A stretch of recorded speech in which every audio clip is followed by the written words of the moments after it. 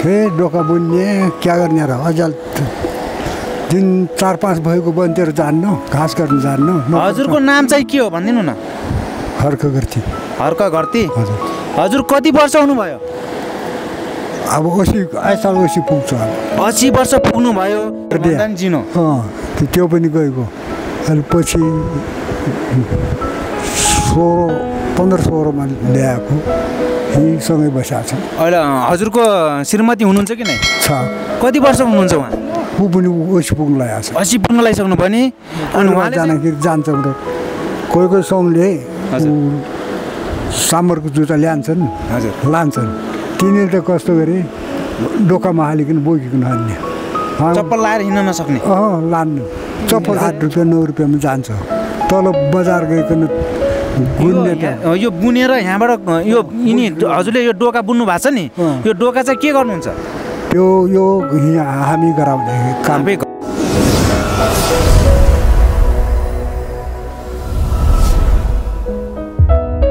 नमस्कार दर्शकबिन तपाईँ हेर्दै हुनुहुन्छ सहारा खबरदाङ। आज हामी रोल्पाको रोल्पा नगरपालिका स्थित माडी चौरमा छौँ। यस माडी चौरमा हामी घुम्न आएको बेला यो खोलाको बगरमा एकजना बुवाले आफ्नो काम यावत यी डोको बुनिरहेको देख्दा अचम्म लागेर यहाँसँग हामी केही कुरा गर्न गइरहेका छौँ। ताकि यहाँ असी वर्षको उमेरमा पनि यसरी डोको बुनिरहेको देख्दा र उहाँको खुट्टामा चप्पल पनि नभएको र एक्लै यसरी काम गर्दा अनौठो लागेर हामीले केही कुरा सोधेका छौँ। आशा छ यस भिडियोलाई सुरुदेखि अन्त्यसम्म हेरिदिनु हुनेछ भनेर हामी उहाँ बुवासँग कुराकानी गर्न जा जाँदैछौँ। डोका बुन्ने क्या गर्ने र? अझाल दिन चार पाँच भएको बन्तीहरू जान्नु घाँस गर्नु जान्नु। हजुरको नाम चाहिँ के हो भनिदिनु न? हर्क गर्थे हर्क घरती हजुर। हजुर कति वर्ष हुनुभयो? अब ओसी आइसाल ओसी पुग्छ। अब असी वर्ष पुग्नुभयो। यो काम गर्दै हुनुहुन्छ। यो छन्। दुई भाइ छन् छुट्टिकन बसेका छन्। छुट्टिएर बसेका छन्? जेठासत बसेका छु म। ए जेठा छोरासँग बस बस्नु भएको छ। जेठा छोरा बुहारीले के गर्नुहुन्छ? घरको काम गर्ने घरेसी काम गर्नुहुन्छ। बाहिर विदेश बाहिर कुनै देशमा जानु भएको छ कि? गएको छैन। के के पेसा गर्नुहुन्छ बुवा छोराछोरीले? गाई भैँसी पाल्ने घाँस गर्ने त्यति हो। ए हजुरलाई मलाई चाहिँ अचम्म लाग्यो यति बुढो म, बुवाले पनि यसरी म, खोलाको ढिकमा आएर यसो डोको बुनिरहेको देख्दा यो डोको यो कहिलेबाट सुरु गर्नुभएको? बिहान। आज बिहानबाट सुरु गर्नुभयो। यो साँझो सिद्धिन्छ? सिद्धिन्छ। यस्तो गराएर बिहान एउटा फाल्नुभयो एउटा निप्जा हाल्यो ए दिनमा कति बुन्नुहुन्छ यसो? दिन त दुईवटा बुन्या घाट पो डुब्छ। यस्तो बुढाबुढीले यस्तो हात यस्तो भाछन् धौ हुन्न गाह्रो हुन्न? हुन्छ। अनि थोरै एउटा कुरा गर्न चाहेँ कि मैले हजुरसँग? हजुरको बाल्यकालदेखि नै यहीँ बस्नु भयो कि? अन्त कतैबाट बसाइसरी गरेर आउनु भयो पहिले चाहिँ हो। पहिलेदेखि यहीँ बस्नु भयो? अनि बाल्यकाल र अहिलेको तुलनामा केही फरक केही पाउनु भएको छ?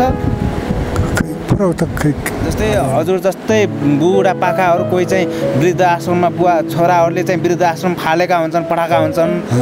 कोही चाहिँ घरबाट निकाला गर्दै हुन्छन् बुहारीहरूले क्या छोरा बुहारीहरूले। तपाईँलाई चाहिँ छोरा बुहारीले कस्तो राम्रो तरिकाले राम रेखदेख गरेर पाले बसाएर रहेछन्।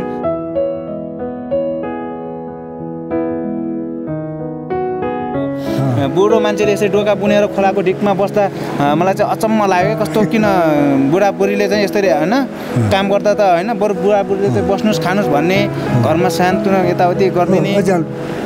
चार पाँच दिन छाडिएको छु नत्र त त्यो सहरै सहर गयो यो भिरको परबाट।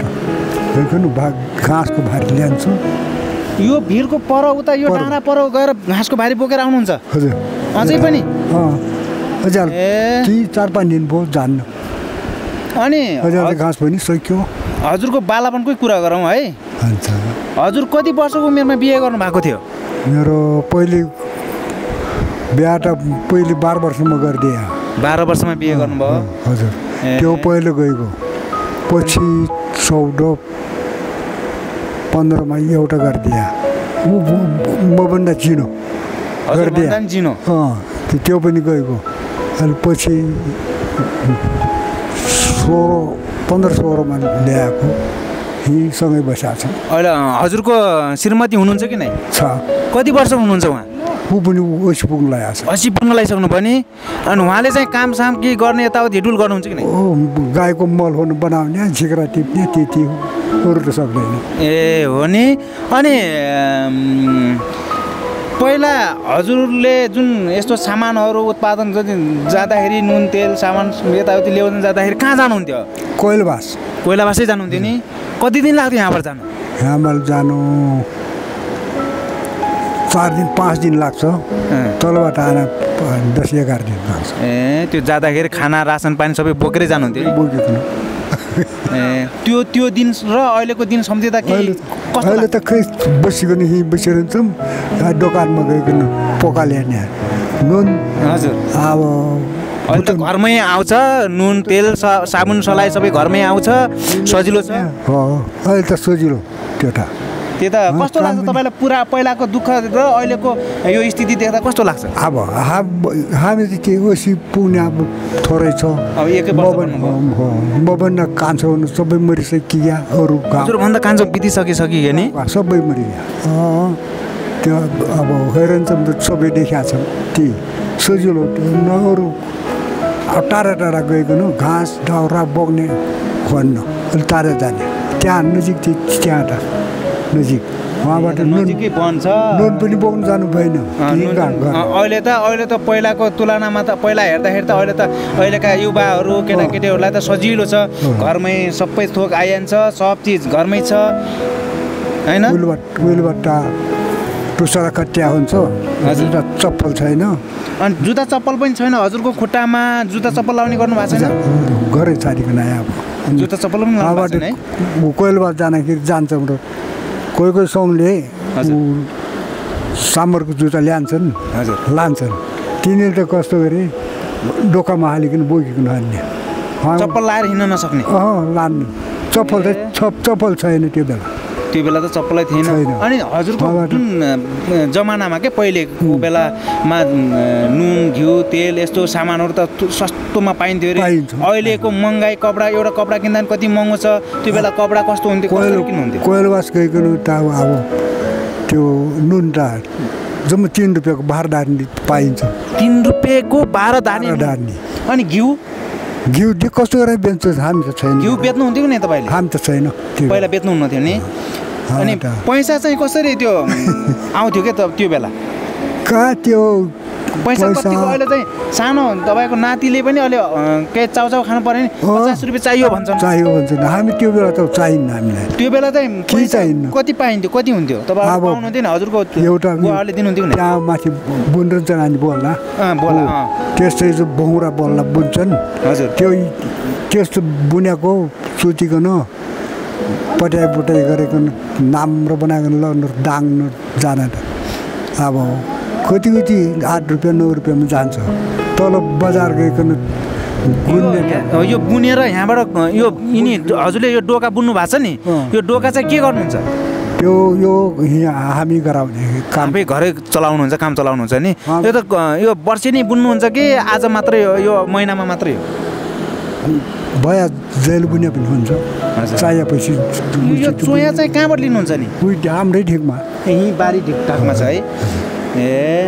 यहाँबाट त्यो अब एक थान त्यो गुन्ने। अँ, हाल्नु त छ सात रुपियाँ भौरा जान्छ।